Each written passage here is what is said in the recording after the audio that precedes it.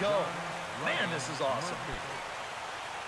John Ryan Murphy will stand in here as the 27th and many hope final batter in this masterful performance.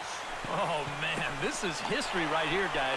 Throw in time. He's done it. A perfect game. And that is absolutely dominant. I mean, what else could you say? 27 up, 27 down. And you know what? This is the first time I've ever witnessed a perfect game. So it's one of the hardest things for a pitcher in the world to do, probably the hardest. But we were fortunate enough to see it here, guys.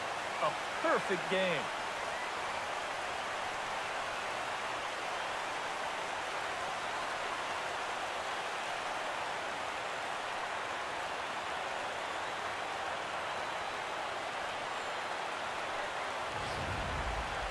One more look at the final line score there to see the great pitching performance that led his guys to the victory.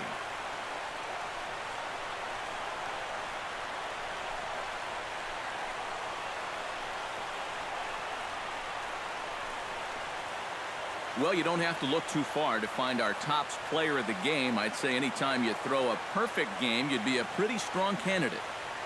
Yeah, I'll say he's a pretty good candidate. All you have to do is look at the line score. No hits, no walks, not even a base runner. You know, these come along in baseball maybe once a decade, so this is as good as it gets, folks.